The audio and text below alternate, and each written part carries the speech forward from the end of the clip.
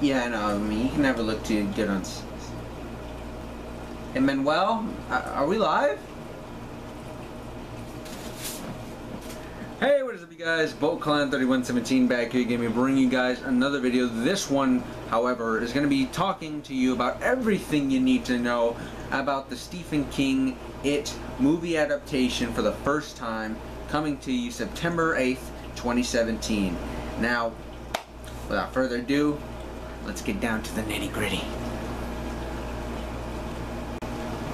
Okay, everyone, so we're going to be talking about, of course, Stephen King's It movie adaptation, which is going to be the first time we ever see a, uh, a film adaptation, excuse me, for Stephen King's It. Now, don't be confused. I know some of you might be getting ready to correct me now, but uh, the mini-series movie that we got for the TV, you know, adaptation of Stephen King's novel, it, wasn't a full movie. It was just a TV, you know, mini movie that was, of course, only shown on TV. Of course, now there's DVDs, there's DVD covers of it and everything.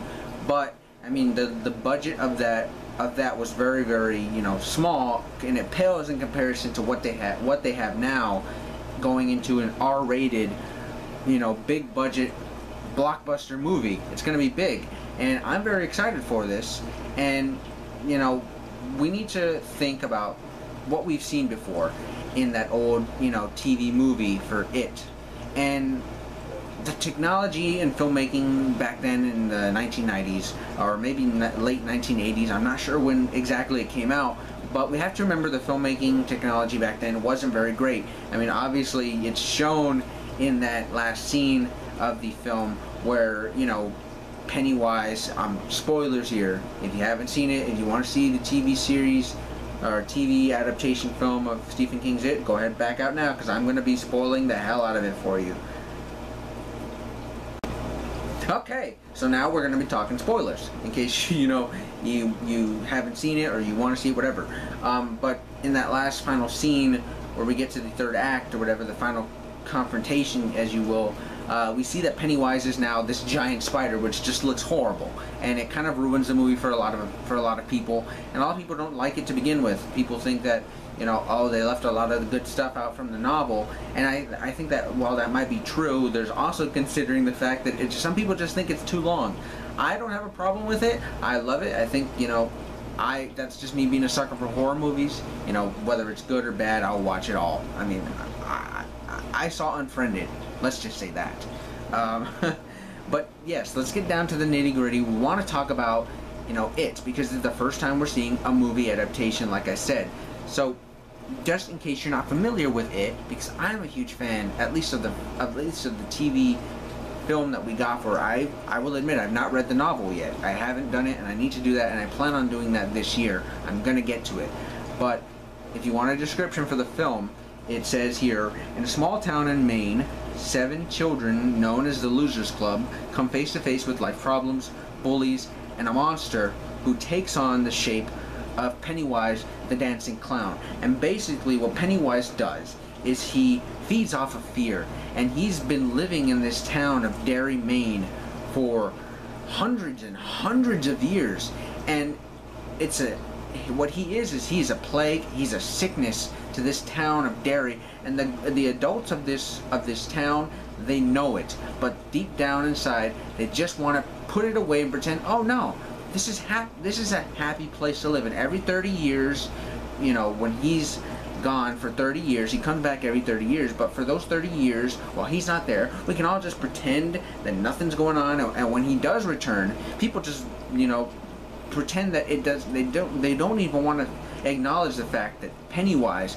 is there killing kids and kids are missing every 30 years or so and they're getting killed off and just maliciously being eaten alive by this monster. So um I really like the fact uh, if you haven't seen the uh, the costume for Bill Skarsgård's version of Pennywise I'm not too big of a fan on the costume per se, but I do like the makeup, and I think up close, if you see those pictures in high definition, he looks creepy as hell. I'm not gonna lie. Um, gave me a little bit of chills, a little tingles. He's got the buck teeth now instead of the sharp fangs that, of course, Tim Curry's Pennywise had, which, of course, was just played brilliantly. Um, what do I have to say, really? Uh, first we know Bill Skarsgård is playing Pennywise. If you don't know who Bill Skarsgård is, you can see him on on, on Netflix original series called Hemlock Grove, which is a horror series you might want to check out. I haven't seen it, but I know he's on it. Um, as for the cast, um, if you're not familiar with these characters, I'm going to talk to you about them. Uh, first off, we have uh, probably this isn't going to be the uh, order of you know the most important to least important characters. This is just the order that I'm going to be reading to you off the uh, top build cast from you know IMDb here. Uh, first, we have Finn Wolfhard, who's playing Richie Tozier, and if you don't know who Finn Finn Wolfhard is. Um, he is uh, he played Will Bowers in Stranger Things, which is another original series on Netflix. Which, if you haven't seen it, please stop watching this and go watch Stranger Things because it's awesome. It's amazing. It's everything you want. It's you know nostalgia for anyone who's lived in the '80s or likes that era. But yes, he played Will Bowers, who's one of the kids in Stranger Things, and he's going to be playing Richie Tozier in this uh, film adaptation for Stephen King's It. And Richie Tozier, the character, he's kind of the comedic relief of, you know, the group of characters. There's seven kids total. And, you know, he's kind of, you know, this little tall, lanky, nerdy kid who's, you know, got the wise jokes. He's got witty comebacks. And, you know, he's just, he's a bit of a comic, comedic relief. And next up, though, we have the main character who's uh, Bill Denbrough who has a stutter and he's just uh, you know an easy victim for for bullies to pick on. And all of these kids really have something in common which is that they are all you know victims of bullying. And I think that's a, a strong you know narrative that we have going in with all these characters is they all share that that they've all been bullied. But not only that but they of course also are all being you know um, stalked by Pennywise the dancing clown. But Bill Denbrough is being paid by Jaeden Linbry or Linbry. I don't know how to pronounce his last name, but I've never heard of the kid before. But I mean, you know, it'd be interesting to see what we get from him. Uh, of course, we have some other characters here. Let me just fix this. Uh, we have some other characters. Um, I noticed one thing that was very interesting is um, we have Steven Williams playing Leroy Hanlon. And I've never heard of this character. I've never read the novels like I guess, but I assume because just the because of the last name that he is the father of Mike Hanlon, who's also one of the other kids, who is a black character in, of course, this 1957 world where it's the 1950s. You know, everything with you know the civil rights and just World War II just getting over with. You know, people use the N word for this character a lot, and that makes him a target of bullying in this you know largely white town. You know, the the population is largely white there, so it makes him a target for bullying. And and his father, I believe in the novels, uh, is uh, chased down and killed by the KKK. So we might be getting some horrible backstory here with his father. I don't know. We'll see. Um, Sophia Lillis is playing Beverly Marsh, and Beverly Marsh is a character who's dealt with, I believe, a lot of uh, domestic abuse at home with her father and maybe even some sexual abuse. So she's uh, kind of an outcast as well as school, which makes her, you know, want to hang out with Bill and Richie Tozier and, and, and you know, all the other characters as well. She's an outcast. And she's a very interesting character. I thought in the, uh, of course, TV uh, adaptation of It. Uh, next we have Wyatt Oleff, who's playing Stanley Uris. And Stanley Uris is a Jewish kid, of course, in the 1950s, fresh off of World War II, makes him an easy target for bullying. And he's a bird watcher. He's a good little Boy Scout. You know, he's uh, probably one of the least developed characters in the TV series, and of course, I've heard the novel as well. But the actor, you might know him. Uh, he played young Peter Quill in the 2014 film Guardians of the Galaxy. For any of you Marvel fans out there, he played young Peter Quill. So I, I think he's going to do fairly well playing Stanley. Uh, as, as, you know, of course, assuming they give him anything to do, considering that Stanley's not really a big of a character in the TV adaptation. Next, we have Jeremy Ray, who's playing Ben Hanscom, and Ben Hanscom is a personal favorite character of mine from all the kids, and uh, he's, you know, he's just a really fat kid when he's, a, when, you know, throughout his, you know, childhood and his teen years, but of course he he overgrows that when he gets older but that makes him as well a victim of bullying and of course he doesn't have the best situation. He doesn't have his father with him. It's just him and his mom living with his uh, aunt and his cousin who he does not like. And uh, he has a crush on Beverly Marsh and she doesn't really realize that until they're adults. But he's a character who I think is very good and he's one of the main characters actually. Um, next we have Jack Grazer playing Eddie Caspero. And Eddie Caspero is a character that I really like because he's he's a bit of a mama's boy, but that's no fault of his own. His mom is, you know, is really really close to her son and she she's gotten him to believe that he is sick and that he has asthma, but he really does not. Uh, it's just all in his head. All of that has been put in his head by his mother, so of course that makes him be viewed as weird by, by other kids in the town. And it makes him, his mother makes him believe that he's weak and frail and can't do anything. But really, he's not sick. He doesn't have asthma, but his mom gets him to believe that. So he's just another interesting character that we have. And of course, uh, last but certainly not least here is um, uh, Mike Hanlon, who is, uh, like I said, the son of, uh, I guess, Leroy Hanlon, and he is, like I said, black kid who's easy target for bullying. Uh, he really kind of keeps the group together, I would say. He's really the, uh, yeah, the glue that keeps this crew together. And so basically what happens in the movie is, you know, we get a bunch of uh, flashback scenes that detail how all these kids interacted with Pennywise in their childhood. And you know, throughout the film, Mike is calling all the other characters, all the other kids, as they're adults now, and he's telling them, you know, Pennywise is back. We have to get rid of him once and for all. And so everybody comes back with the exception of Stanley, who commits suicide and kills himself because he does not want to go back and have to face Pennywise again because he's just that terrified, even as an adult. So um, we have just six characters now, and they go back to Derry, and what they basically have to do, which is where I think the TV uh, adaptation, the TV adaptation really falls apart in the second half, because it's just not good, as good as the first half, where they're, when they're just children. Because now when they're adults, I feel like the just the quality of the entire uh, story kind of goes down. At least in the TV adaptation, I haven't read the uh, the novel, and I hope to do that very soon. But um, yeah, like I wanted to say, uh, it's, it's, the tone though for this movie I think is very creepy, but uh, hopefully for what we do see in the 2017 adaptation is uh, it's going to be R-rated. It's going to be R-rated, and the first uh, it's going to be supposedly two movies, and the first one being just about the kids, which I think is brilliant because you know that's the best part of this entire, uh, at least what we got from the TV TV adaptation was just the kids' point of view.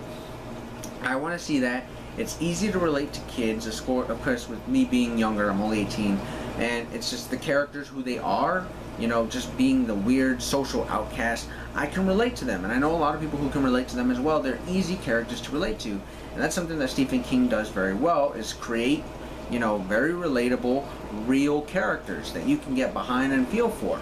So, you know, I'm very interested in seeing the first half, and I hope it does very well, and I hope it's very creepy. The director, Andres, uh, let me hold, hold up, let me try and get his last name here. Andres Muschietti, I believe that's how you pronounce it. Uh, he, his really claim to fame is the movie Mama, which came out in 2013, I believe. And Mama, I did not like that movie, I'll be honest with you, but as a director, he certainly made that movie. The tone of it is very creepy and it's very eerie. So I can just imagine what he's going to do with Pennywise in this world. And I believe the movie's set now in the 1980s, not in the 1950s like the original. But I'm okay with that. I love the 80s. I just watched Stranger Things. You know, it's all it's all nice and dandy.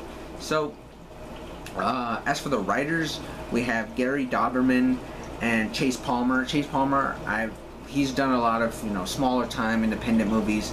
I don't really know him that well. Uh, Gary Dauberman has uh, made, uh, just, I'm gonna be honest with you, he made a really bad movie called Blood Monkey, which is part of the Man-Eater series. Horrible. Don't watch it. It has F. Murray Abraham, though, if you're interested in watching for him, I guess, but uh, he also made, his biggest movie is Annabelle, which is a spin-off from the, uh, you know, the doll from the original Conjuring movie, the first Conjuring movie. I didn't think that movie was very good. Uh, some people like it, some people don't. I personally, it's not my cup of tea. I didn't think it was very good. Uh, he did have uncredited uh, rewrites for both Final Destination 5 and the uh, reboot of The Nightmare on Elm Street, which uh, gives me a little a little bit of hope for him. And so I'm interested in seeing where they're going with the movie. Um, I think I've really gotten out everything I want for you guys. Uh, it looks very creepy. Like I said, it's R-rated. Some of these uh, set pictures that the director shared on his Twitter, if you want to follow him, his name is, like I said, Andres Muschietti if you want to follow him, he's left out some creepy photos. There's this one picture of this missing poster of a girl who's in black and white, and she looks horrible. She looks scary as hell. And there's another picture that he shared of a little girl's uh, decapitated head in some type of river or lake, and it just, I'm looking at it right now. It looks freaky as hell. I don't like seeing decapitated, uh, you know, children's heads. So I mean, I'm hoping that it's very creepy and it, it's going to be R-rated, so I'm very much looking forward to it. And like I said, Pennywise in his makeup looks very, very creepy. I'll be honest with you. Um, that's really all I have to say, I guess, for what I'm hoping for and what we know about Stephen King's It uh, coming out in 2017. That's really all we know for now. Um, I, yeah, that's really it. Uh, I know there's probably a few things that some people who've read the novel, maybe you can talk talk to me a little bit about the novel without spoiling too much because you know I want to read it myself. But I know there's this really really weird you know orgy with all the kids, which uh, just feels weird to me. But I mean, of course, I can understand why Stephen King might want to do that, but it just feels weird hearing it, you know. And I doubt they'll do that in the movie, or even you know allude to it a little bit. I don't think they'll do that. But um, yeah, this has been my video for uh, Stephen King's It coming out in 2017. If you want to see, you know, if you want to hear me talk about it anymore, I'll go ahead and be able to make sure I leave some updates with you for this and other horror movies. Of course, uh, Blair Witch is coming out in September of this year, which I'm very much looking forward to. I'm hoping that it is good. I need it to be good. I need some horror in my life. So, um, probably going to be giving you some Star Wars Rogue One videos as we go along. Um, I'm not really sure what else I'm looking forward to this year, but, you know, I'll be giving you guys some more movie updates, more movie videos, stuff like that. Maybe some video games. I'm not sure. I guess we'll just have to wait and see. But, um, yeah, go ahead and like what you see here. If you want to be updated on more horror movies and more, you know, just any other genre of movies that I find and you may find interesting, go ahead and subscribe. Do whatever you want. Like, comment, share, all that good stuff, alright? Uh, this has been Boat Clan 3117 signing off.